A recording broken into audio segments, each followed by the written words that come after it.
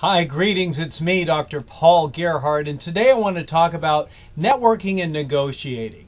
And I want to tell you, besides effective communication, I really believe that being an effective person who can network effectively and then negotiate effectively, um, I believe that's the, the number two most important skill that you can have. Of course, there are a lot of skills that you need to have in order to be effective in your uh, relationships and building relationships. But networking really is something that if you could learn it, you could quickly grow your career a lot quicker than simply what I like to call bumbling. So, uh, really learn the skills uh, of what most effective networkers do.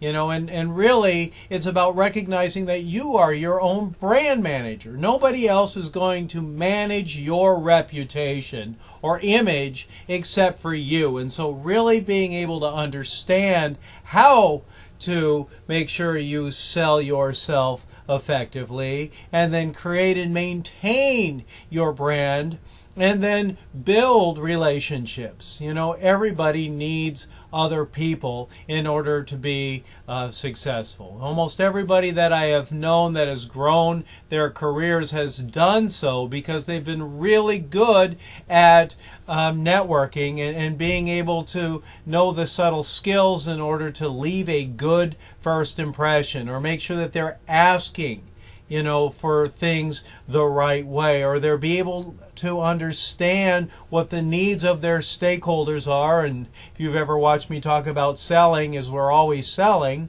but networking is about maintaining those relationships and utilizing those relationships uh, to so that there's always mutual gain in there. And this is why I always love to talk about the power of thinking win-win. You need to make sure that you other people that you're involved in uh, feel like they're getting something out of it. You know, the networking is an ongoing process used to build interconnecting relationships. And there's always politicking going on. And politicking is simply recognizing that different people have different things to offer or different types of, of power. And being able to have people of power in your social circle really takes the skill of effective networking. And so there are lots of tools for us today in order to build and maintain our networks. We are alive in the greatest time of all history for the very sake of growing our careers. You know, we need other people to get what we need. If you have goals of becoming a certain you know, whatever title it is in an organization, you need to be able to find what that organization is first, be able to figure out what jobs are available there, and then figure out how to get to where you want to be. And sometimes that takes networking interviews, you know, put like giving your card out or really introducing uh, yourself to other people and then working your network. Do you know anybody that uh, may be able to help me get to where I need to be. So there's a lot of different objectives to networking that you should consider. Most of us will be going through more than one job. Even if you want a promotion, uh, you need a different job outside of your organization or within your organization. You're going to need to network. If you want to perform better at your current job, you need to make sure that you've got a network internally in your organization that helps you get the resources that you need to be successful. If you want to grow within your organization, you need to have a good reputation and you need to make sure that you're building a solid rapport with the people at all levels of your organization. You are only as strong as your reputation allows it and you are the only person that's going to manage that reputation. So if you want to grow in your organization, that means you have to be ethical. It also suggests that you need to stay current in your field and networking with other people who know things or are experiencing things that you need but haven't yet experienced um, really takes you being able to utilize your network. You know, it really helps you maintain mobility within your organization or gives you other options, you know, and more than anything else, networking is about developing and maintaining personal and professional um, relationships. So, really, really, really recognize that relationships are fragile. Be a person of integrity of all time and do the right things by the stakeholders that you're involved in.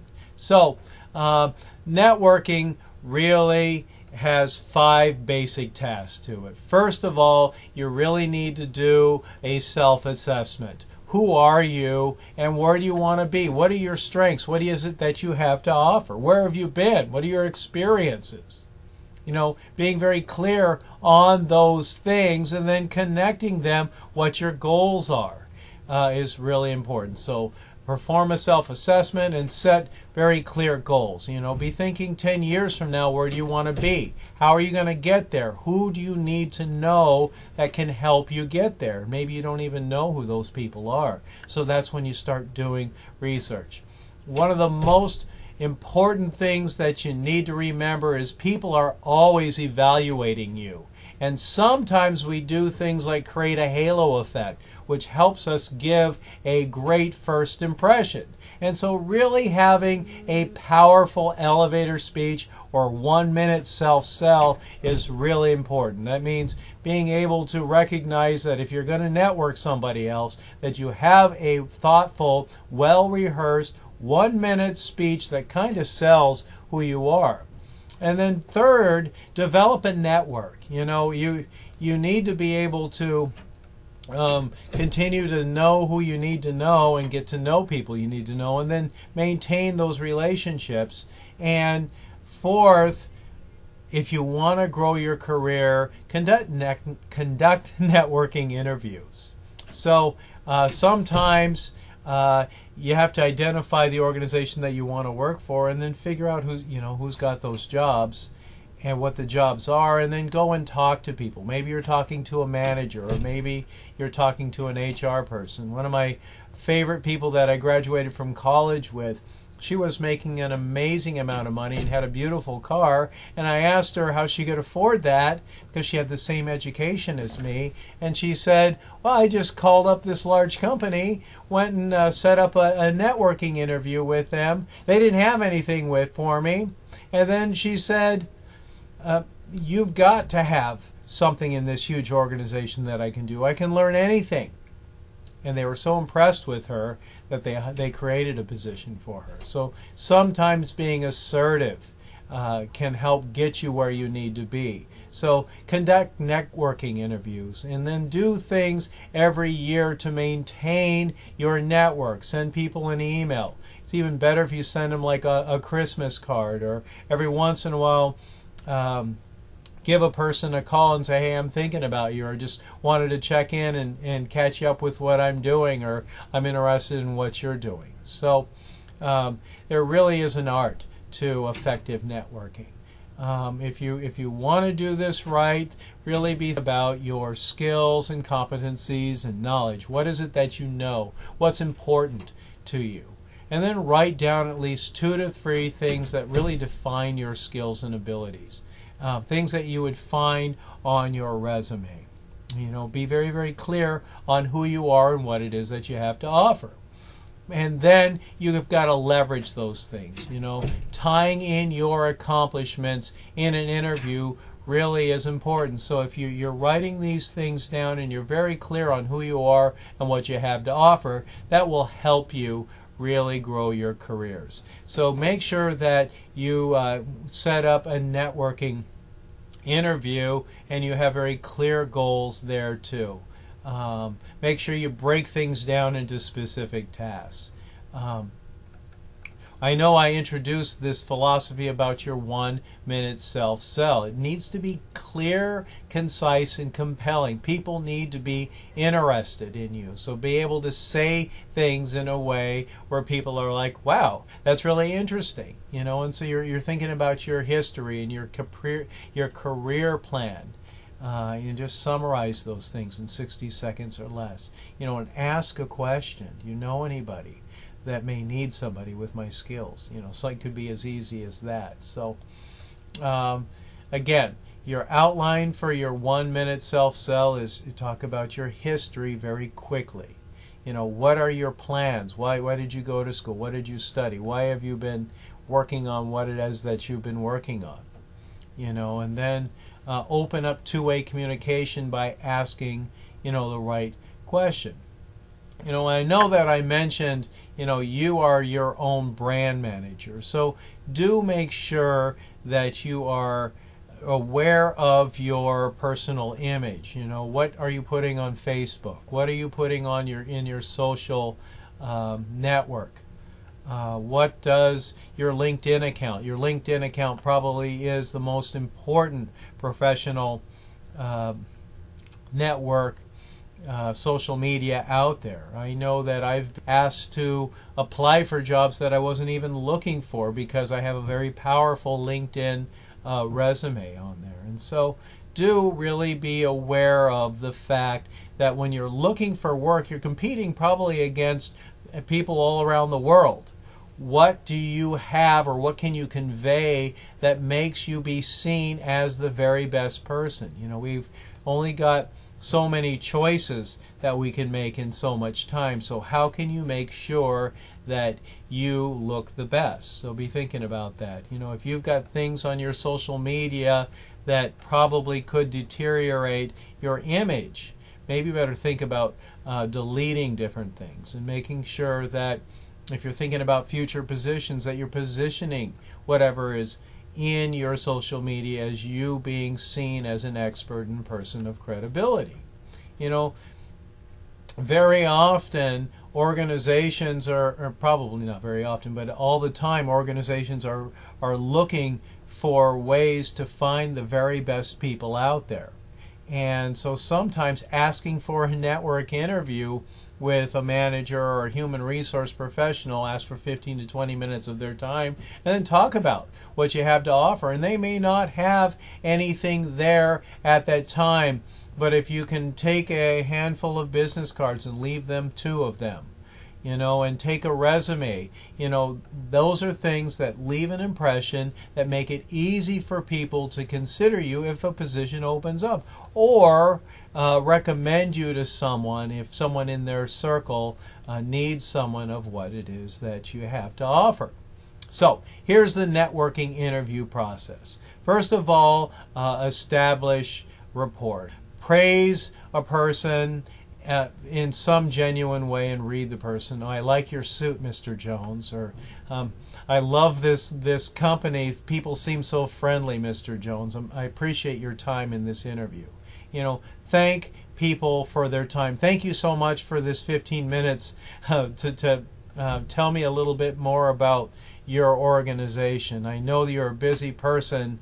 Um, and uh, I, I, I'm looking forward to hearing more about your company. You know, state your purpose clearly. I'm here to find out what options are available, Mr. Jones, and uh, I'm really grateful for your time. Deliver your one minute self. Sell is, is step number two. You know, be able to say, Hi, I'm Dr. Paul Gerhardt, or whatever your name is, of course, and um, I help organizations align leaders and followers so that people are feel good about their experiences with each other and are motivated to help uh, accomplish organizational goals. You know whatever that is you know and then uh, have uh, have some questions. You know do you have any any positions that you foresee opening up that can that can utilize my skills. You know, very often uh, people won't have something at the time, or maybe they do, but they may actually have a connection for you to offer you. If they like you, they'll offer you. Um, I know I don't have anything to offer, but I know somebody that can.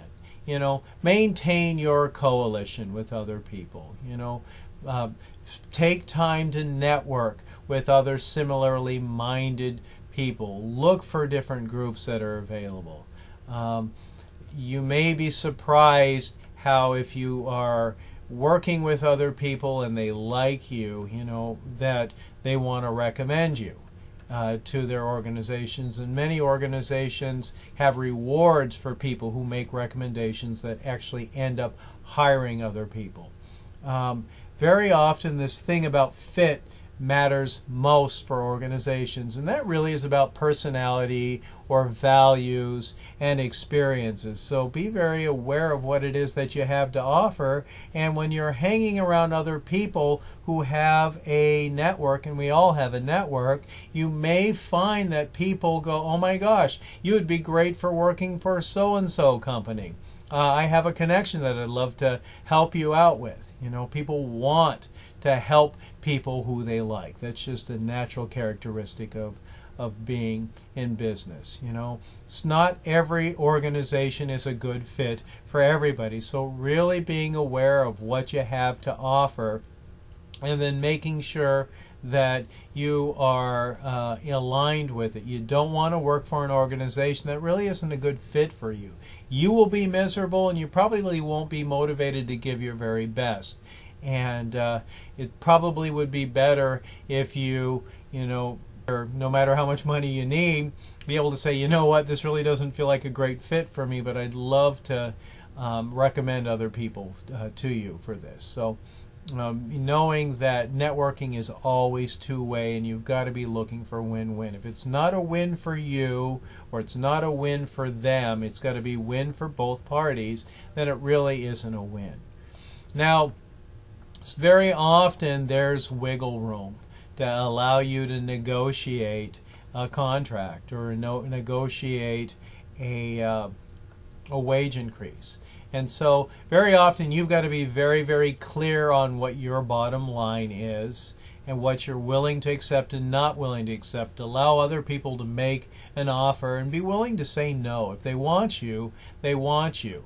Uh, but let them make the first offer you know, build trust, always be open and honest and flexible. You know, remember that relationships are fragile.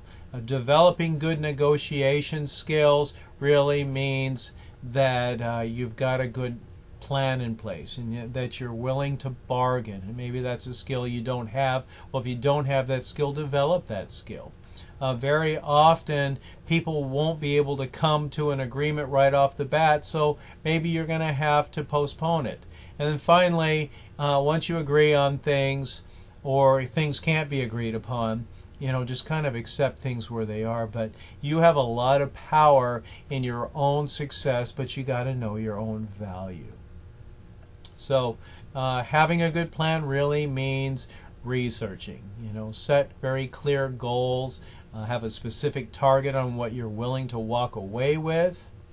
Uh, be able to, uh, you know, being smart means that you are anticipating questions that they may ask for you and you're being ready to answer those questions in an honest way. And then figuring out what you're willing to give up. What trades, trade-offs and options are you willing to, to give up for something in return? So that really is essentially the negotiating process. You know, if you want to uh, have a life that you truly love, you need to make sure that you understand the bargaining process. Develop a rapport. You know, focus on obstacles. Never attack another person. Uh, don't call names. You know, be respectful uh, in what the eyes of what the other person says. You know, let the other person give the make the first offer. Really listen to what people are saying and clarify things for expectations. You know, you want people to feel like they are in control and that they're genuinely respected. And then don't move too fast. Um, we all need process things at our own time. And, and people may not be processing things as fast as you, or you may or they may process things faster than you. So really take time to think about things. Be a person of absolute honesty and integrity all the time. Uh, you don't have to ha create a sense of urgency in things. You know, if you rush into something or you're you're making people feel pressured, people will probably regret making a decision in the longer run. It's got to be a win-win, and you have the power to create a win-win situation in all opportunities. So uh, you need to be able to think long term, and so you you create a long-term relationship in the networking process like growing a garden. Little incremental things that you do help build your reputation and make people want to recommend you or promote you. But you create your own successes and failures with the choices that are given before you. Make good decisions.